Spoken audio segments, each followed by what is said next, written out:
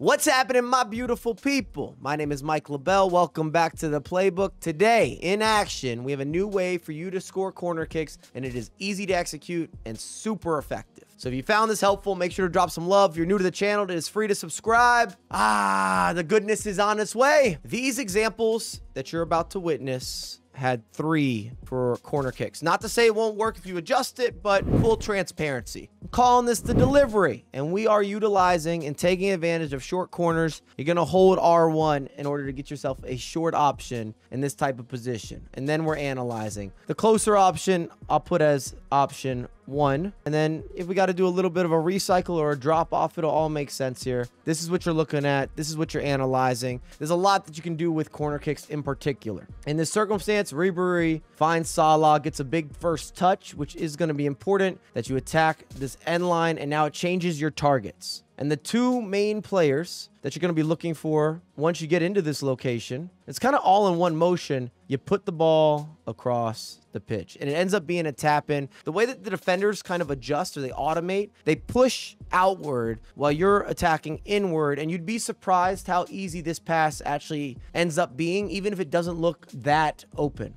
There you go. Players move, you tap it home. About as automatic as they come. You can go with a normal pass, depending on distance. You can also use a driven pass. Both circumstances I've found to have success. Even the double tap if you want a little bit of a lofty addition. More of the same. Mbappe. This time we're going back to the top of the box. But the target and the game plan does not change. Even though this pass is going this direction, I'm already thinking about finding the next man. It's the same two players here, but now we're going to look for more of a dump off. Understood? There it is. There's your dump off. And then you see the same little spatial gap. And you might not be able to take advantage of this on every single corner kick. Players will catch on to it. But if you do it right once, you've got yourself a goal. So you're turning this way, and then you're going to look to square. There it is. Salah, there's your touch. We now open up option one and option two. Option one will always be the ideal choice. And maybe most importantly, the defender is already beat. You have that angle. You with me? We have enough of an angle to make this work.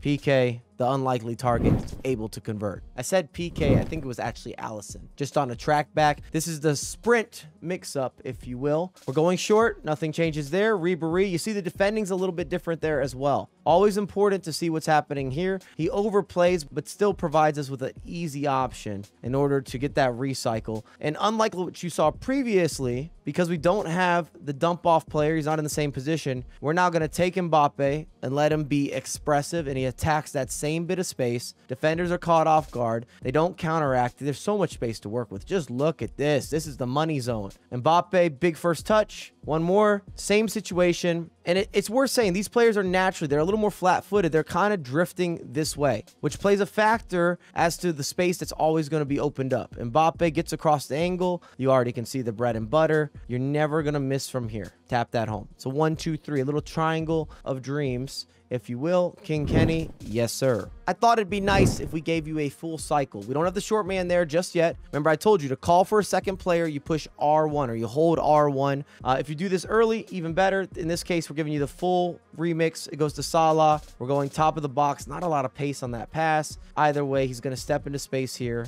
And the options do not change in terms of what we're looking for. There's the space step. You see the drop off. You can kind of see the triangle coming together. It looks like this. There's your good money drop off. And you still have that same gap of space that I will keep on repeat because it's important. That little gap of space there, which gives you the ability to turn. And then once you've turned, you're looking for the extra layoff. Could you attack with a skill move? Potentially. But this just keeps on working. And we're going to force it in there. And these are the circumstances. If you're going to go for these intricate passes, this gives you a percentage that makes it more worth it. Even off an interception or if it bounces back, you have a chance to make an instant tackle and then take advantage. Is that a little bit lucky? Sure. Or could it be lucky to a certain degree? Absolutely. But that's part of the game. Put it into these difficult areas. We've already got enough bodies back there. The entire team is defending. In this case, it doesn't matter. It gets dropped off when we tap it home. Shout out to Maldini. One more time. Game plan does not change. Full cycle, short man. First time pass here. Salah. There's your dump off.